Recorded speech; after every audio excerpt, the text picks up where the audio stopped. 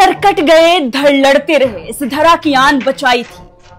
भारत माता के खातिर राजपूतों ने जमकर लड़ी लड़ाई नमस्कार, मैं हूँ आंचल सिंह और आप देख रहे हैं द भारत शो।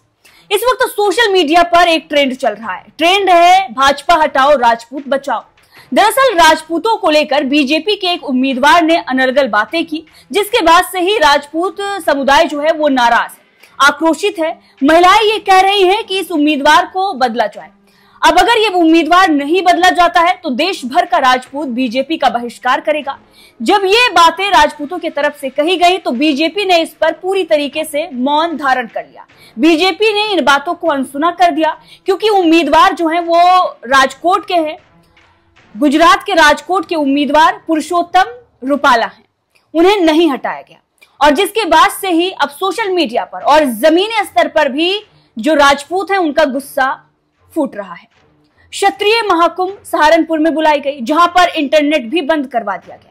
लेकिन वहाँ पर राजपूतों ने अब ये प्रण लिया है कि जब तक अपमान करने वाले लोगों को सजा नहीं मिल जाती, तब तक हम बीजेपी को वोट नहीं करेंगे। क्या कुछ कहना है इस पूरे मामले को लेकर? क्षत्रियो का, चलिए आपको सुनाते हैं। हमारे इतिहास को चुराने का काम करा और हमने बार बार भारतीय जनता पार्टी को, जिसे हम सौ प्रतिशत वोट दे रहे हमने बार बार कहा कि हमारा निवेदन है, हमारा आग्रह है कि आप ऐसे लोगों को टिकट मत दो, लेकिन फिर भी पुरुषोत्तम रूपाला हो, चाहे प्रदीप चौधरी हो, अन्य बहुत भारतीय जनता पार्टी के सांसद जो हमें लगातार गालियाँ देते रहे।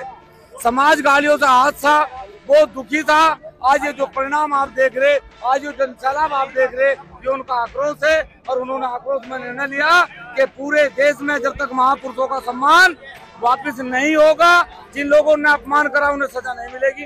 जब तक भारतीय जनता पार्टी को एक भी व्यक्ति वोट नहीं दे। उन्नीस अप्रैल से पहले उन्नीस अप्रैल से पहले आप लोगों ने पंचायत बुला दी है चुनाव होने वाला तो ऐसे में क्या लगता है क्या ऑप्शन है जनता के पास किसको कहेंगे आप किसको वोट देना चाहिए फिर?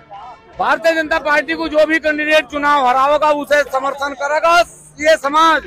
ये निर्णय है समाज का कि हम भारतीय जनता पार्टी को लेकर आए थे लेकिन भारतीय जनता पार्टी को भेजने का काम भी हम लोग करेंगे कितने कहाँ कहाँ से लोग इस सभा में आए थे आज यहाँ पर? इसमें हरियाणा राजस्थान दिल्ली उत्तराखंड हिमाचल बहुत जगह के लोग आए थे और अगला क्षत्रिय महाकुंभ दिल्ली के लाल किले पे भरा जाएगा उसकी तैयारी करना सभी लोग जी एक बात बताइए आज समाज कह रहा है कि प्रतिनिधि नहीं मिल रहा है लेकिन मुख्यमंत्री हैं आपके समाज से हैं रक्षा मंत्री राजनाथ सिंह है वो भी आप ही के समाज से हैं तो क्या लगता है कि अभी भी कुछ हिस्सेदारी बची है आप लोगों के लिए? आप एक बात बताओ जब हमने रियासत इस देश को दी तो हमने सांसद मांगे थे। जब हमने जमीनें दी तो हमने मुख्यमंत्री का पद मांगा था। जब हमने आरक्षण दिया तो हमने कहा था कि हमारा मुख्यमंत्री बनाओ। जब एस सी जैसे कानून बनाए गए तो हमने कहा कि हमारे महापुरुषों का मान लेकिन हमने ज़मीन पर आंदोलन नहीं करा, रियासतों पर आंदोलन नहीं करा। हमने आंदोलन तब करा तब हमारे महापुरुषों का अपमान हुआ और अपमान राजपूत सहन नहीं कर सकता। और ये स्वाभिमान की लड़ाई है।